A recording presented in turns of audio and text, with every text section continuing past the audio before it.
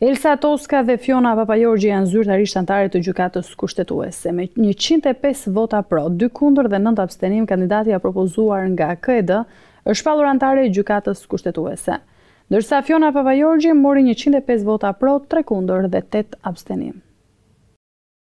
Elsa Toska është votuar me njëqind e pesë vota pro në Kuvend si anëtare e dytë e Gjykatës Kushtetuese. Para votimit, kryeparlamentari Ruçi sqaroi se Këshilli i Legjislacionit e ka konsideruar kushtetuese procedurën e ndjekur, ndaj dhe vijoi me procesin e votimit. Për transparencë, sot jemi në seancën që e kemi zhvendosur nga e enjtja në të hënë, kjo për të plotësuar afatin tridhjetë ditor që detyron Kuvendin të shprehet lidhur me kandidaturat që KED i ka çuar Kuvendit. Deputetët janë vënë në dijeni me qëndrimin e Presidentit. Lidhur me këtë jam drejtuar KED-së, e cila i është përgjigjur kërkesës me arsyetimet përkatëse dhe konkludon se kandidatja e parë automatikisht është e zgjedhur anëtare.